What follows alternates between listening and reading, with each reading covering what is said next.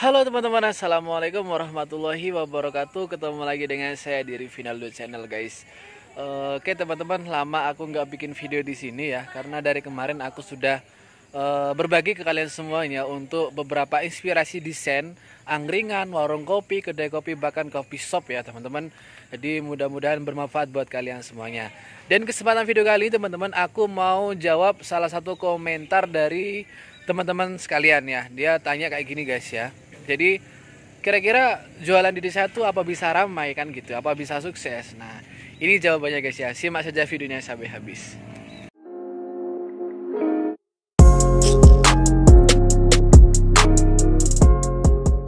Baik teman-teman kita lanjut ya. Uh, cuma kita alas sambil duduk aja biar kita bikin videonya tenang guys ya. Kita duduk di sini saja guys.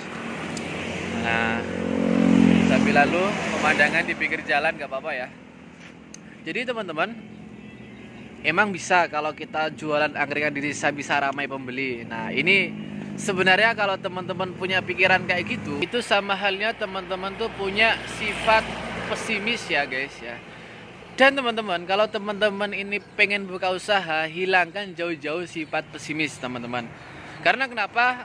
Yang namanya usaha pertama kali mental yang harus teman-teman miliki yaitu mental pemberani dulu guys ya. Mental resiko. Ini karena apa teman-teman? Banyak sekali uh, bahkan nggak usah jauh-jauh tetangga itu ya ada banyak yang curhat kepada saya itu teman-teman. Itu kadang ragu ya. Kira-kira jualan ini ada yang ada yang beli enggak ya? Kira-kira laku enggak ya? Ini ini sudah bukan mental pengusaha kayak gitu. Jadi mental pengusaha yang jelas. Pertama teman-teman ini memang harus miliki dulu optimis ya. Dan uh, apa tidak takut yang namanya rugi. Uh, otomatis teman-teman bagaimana biar kita nggak takut rugi? Ya memang kita perlu perhitungan apa pun itu ya mulai dari modal tempat usaha jenis usaha dan sebagainya. Nah itu.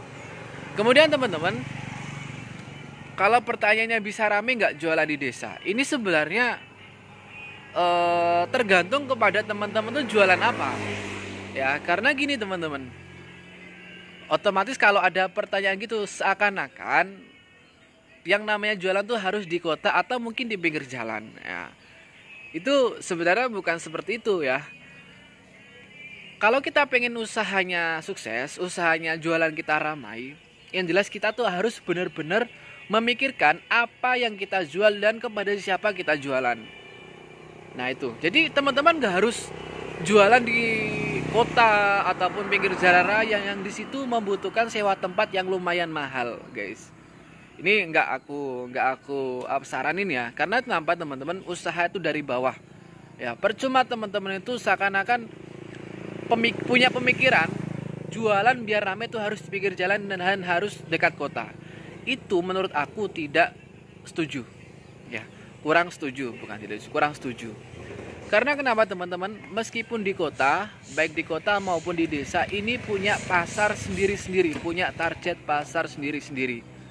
Dan biasanya memang kadang uh, orang kota belum tentu makanan uh, belum tentu suka makanan desa. Begitu pun sebaliknya orang desa juga belum tentu suka makanan orang kota. Nah, ini perlu teman-teman pikirkan. Nah, jadi yang jelas intinya teman-teman apa bisa ramai jualan di desa? Pasti bisa. Eh, asalkan dengan catatan itu tadi meskipun di kota di kota belum tentu ramai kalau tidak tahu apa ya yang kita jual itu kita kita tidak yakin. Jadi yang penting jualan kemudian target itu yang lewat itu malah kurang maksimal. Mending di desa tapi kita maksimalkan target kita jualan kepada siapa. Kayak gitu. Jadi simpel sih teman-teman uh, itu kuncinya ya. Kalau teman-teman tuh jualan angkringan di desa pengen rame atau pengen sukses ya. Hati-hati dengan yang teman-teman jual. Hati-hati ya. Pikirkan uh, dengan matang dulu. Jangan asal jualan. Bahkan angkringan pun sekalian ya. Meskipun angkringan itu juga banyak macam banyak macamnya. Seperti aku sudah sering uh, apa bikin video dari angkringan satu ke angkringan yang lain itu juga resepnya juga berbeda-beda ya teman-teman. Ada yang bumbu pedas ada yang ah banyak lah pokoknya teman-teman. Nah, nah kira-kira bagaimana untuk peminat orang desa ya? Teman-teman harus tahu. Nah, setidaknya kalau memang susah mengetahui ya mungkin bisa teman-teman tuh bisa survei dulu lah. Jangan moro-moro buka warung tapi bikin makanannya dulu dites di rumah.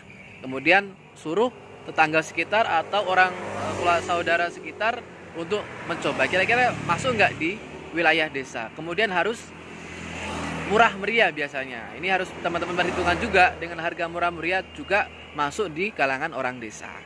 Nah jadi itu teman-teman untuk jawabannya. Semoga bermanfaat. Barangkali teman-teman ada yang tanyakan silahkan saja tulis di kolom komentar.